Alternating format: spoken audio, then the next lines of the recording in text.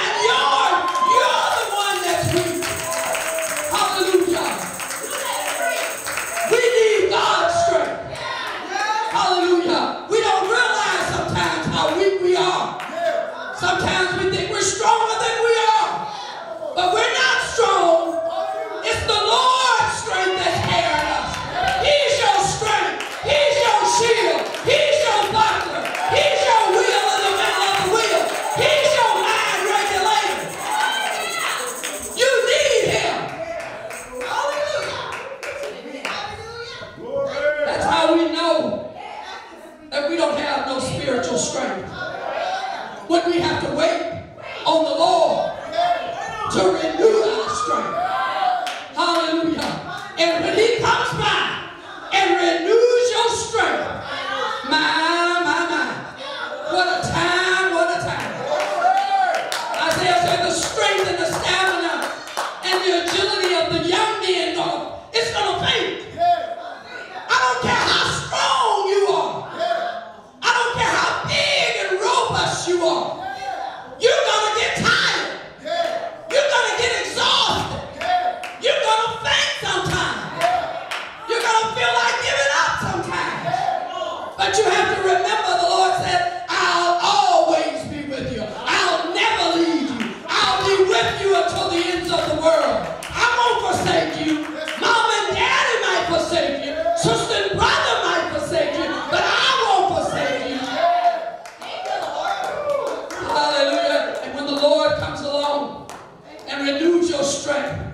It's like your batteries get recharged. Your tanks get refueled. And all your energy gets restored. And you rise up and you say, I believe I'll run home. See what the end of this thing will be.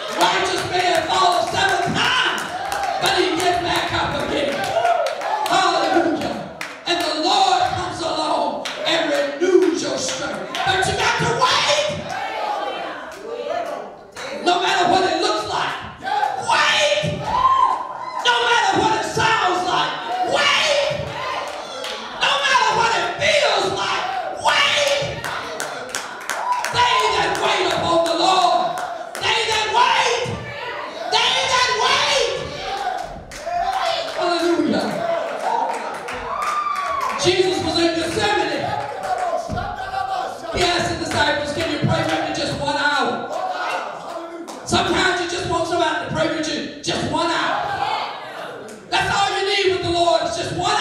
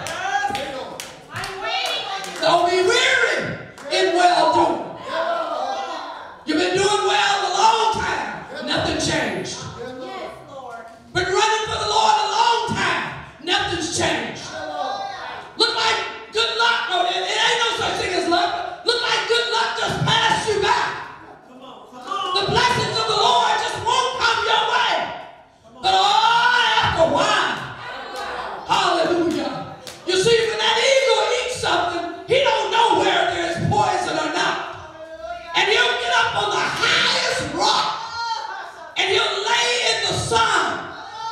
See, when you're going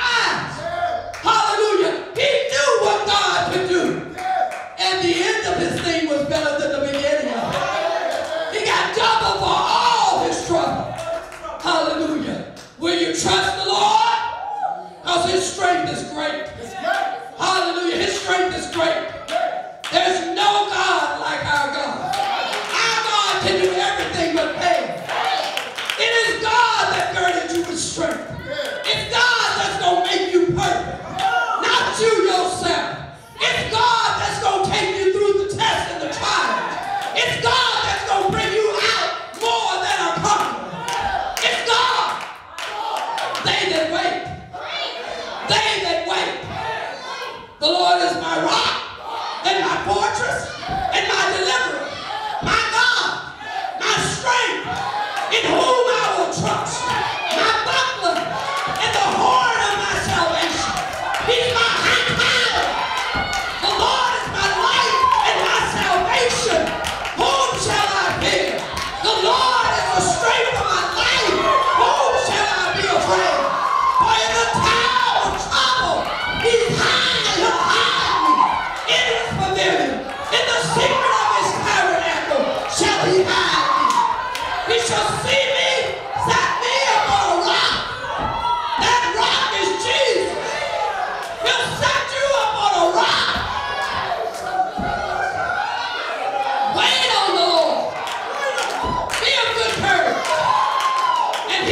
strength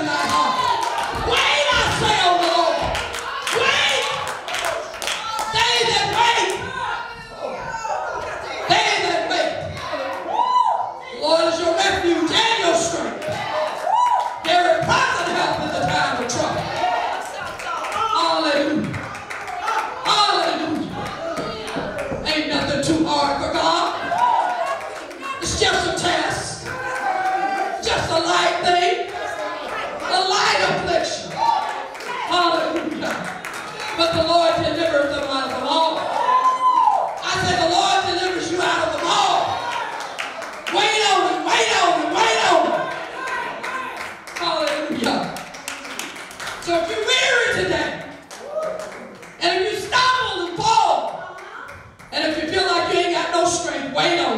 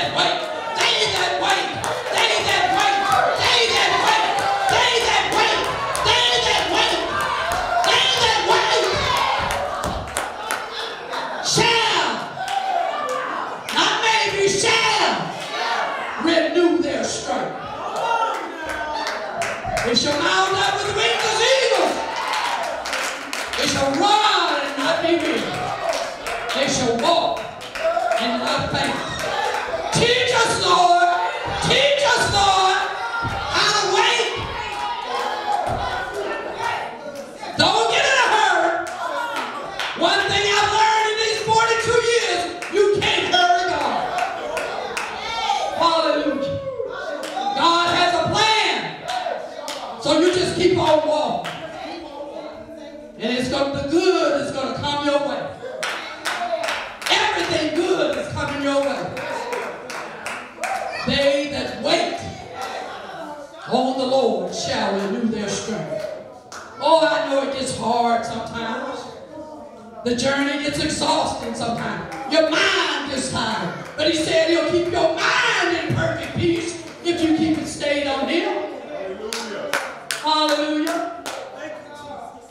Get you a go through praise and keep saying.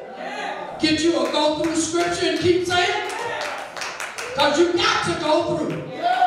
You got to go through. This is all for your good.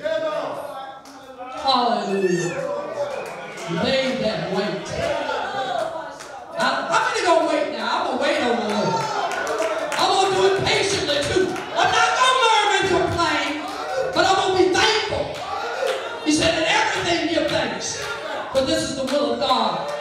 Christ Jesus.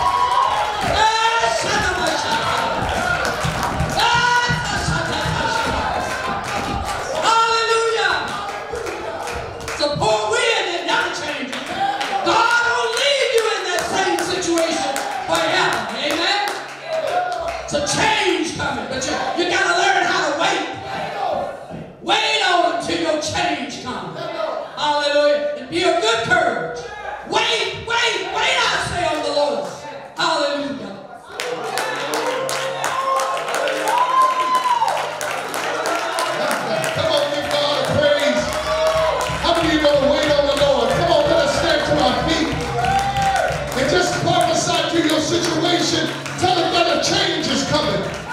Tell him that a change is coming. Hallelujah. Tell your neighbor a change is coming. And tell him a change is coming. Hallelujah. Now go and somebody and give them a hug and let them know that a change is coming. Hallelujah. We're going to wait on